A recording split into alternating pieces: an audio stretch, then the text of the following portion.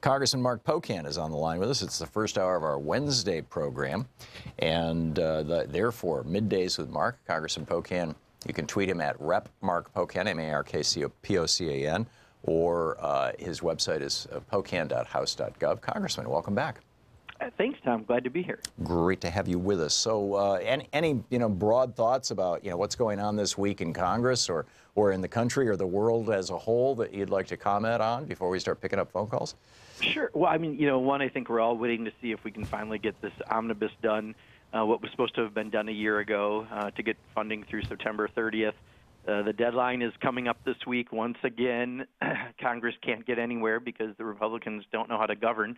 Um, I think we'd be better off with a, a room full of monkeys and a, a typewriter and uh, maybe an abacus, and you could get a, a omnibus done faster than these folks are operating. But I, I think we'll have something done this week.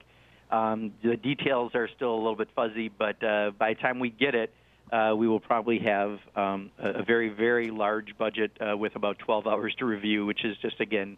Uh, what a terrible process! It's because the Republicans don't know what they're doing. So that—that's kind of the big thing that's shadowing most of the week. Um, you know, yesterday we had Betsy DeVos uh, in my subcommittee. That's always interesting, hmm. um, having her there.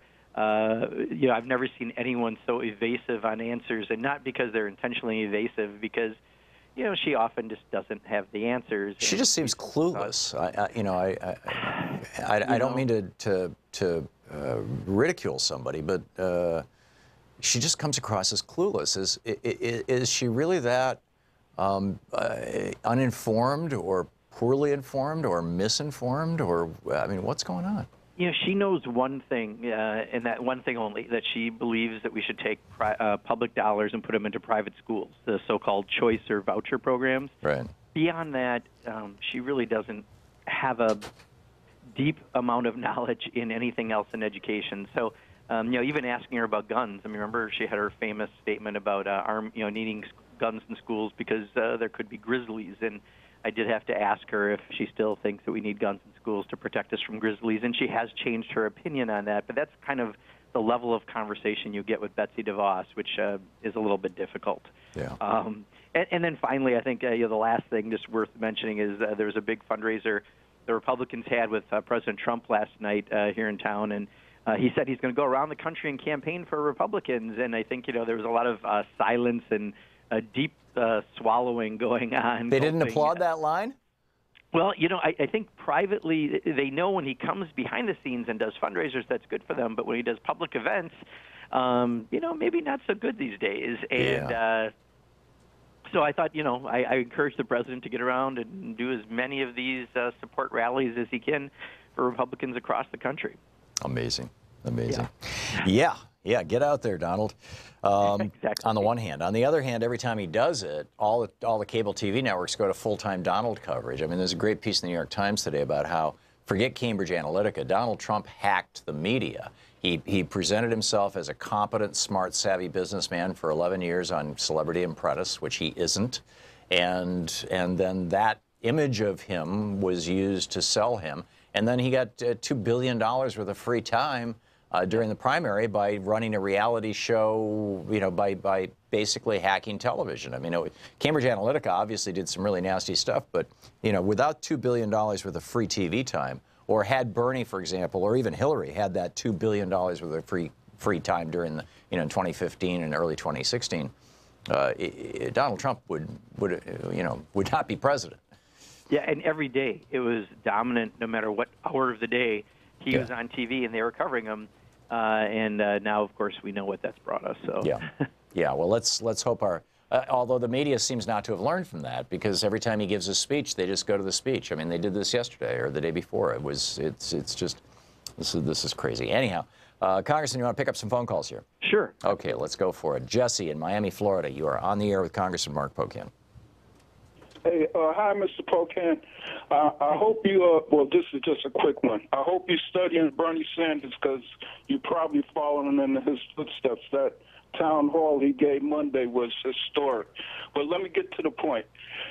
Hey, if I was on that panel with Bernie this Monday, I would have asked the question political power comes from economical power. why don't we take control of the Federal Reserve? Because there we have collateralization with no representation. So the basic question is, Mr. Pocan, how can Congress and the people take back their treasury? That's that's it. Collateralization with no representation. I love that, Jesse. There you go. Congressman? well, Jesse, I, I tell you, I agree with you that I mean economics are the central issue. Um, I'm not sure if most people are talking about the Federal Reserve when they're at their kitchen table.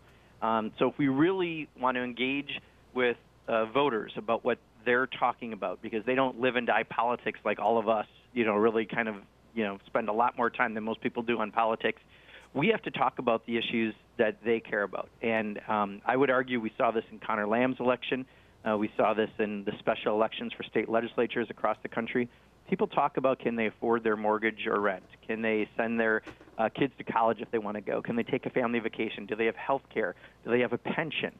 Those are the sort of economic issues. So I completely agree with you, Jesse. Those issues are vital, and Bernie Sanders, uh, uh, better than almost anyone, although I'd argue Elizabeth Warren is very close, um, to it, uh, cover those issues in the right way, and that's why they make people care and relevant uh, to what they talk about. So I think those are the issues that we really need to focus on the most, and we kind of have to all make ourselves remember that um, because sometimes I know we all have special issues we care about. We might have a very specific opinion on something, but unless we're talking in the biggest, broadest way about those issues that the average person who we need to get out and vote uh, care about, we're really not talking to that voter. So um, you're, you're absolutely right. It's on economics. I would just say let's make it as populist as possible on economics, and let's also not forget Social Security and Medicare.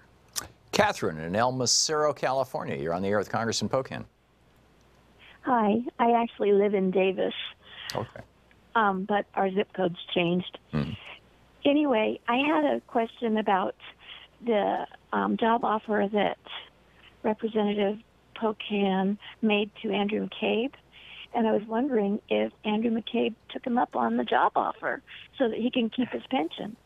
Yeah, Katrin, uh, thanks for bringing it up. I was I was going to bring it up in the beginning, and you know, I, I don't have an answer yet. We've talked to his folks. I think he's got actually now multiple offers, but more importantly, he's also involved in a lawsuit over the firing. So on Friday night, um, the president had the attorney general fire Andrew McCabe literally 26 hours before his uh, retirement to try to take away his ability to have uh, his full pension. And you know, c- growing up in a lower middle class family, I mean, you know, you don't mess with people's futures, right? This was the president trying to be a thug.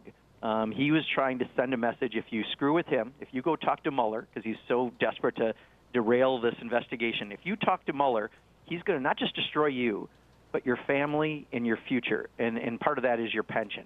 So we couldn't let that happen. So the first thing I, when I read that Saturday morning, I'm like, no, you know what? I will hire him. We will get him across the finish line if that's what he needs, if that's what's going to work for him. And I don't care if it's me or whoever he works for. Just you shouldn't lose your pension because Donald Trump was trying to send a message that anyone who does this, he will go after. And I think we were able to show there are checks and balances in the system. We checked him.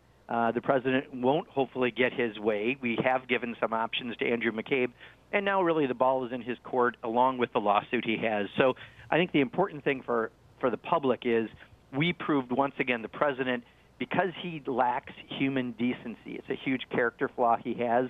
Uh, he still can't win when he wants to be a mafioso thug. He, when he wants to be Vladimir Putin, we're not going to let him.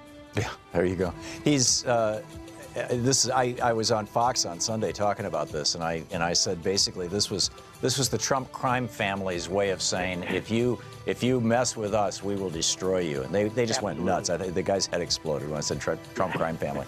Anyhow, we're back with Mike, Congressman Mark Pocan in just a moment. It's middays with Mark. Your calls for the congressman.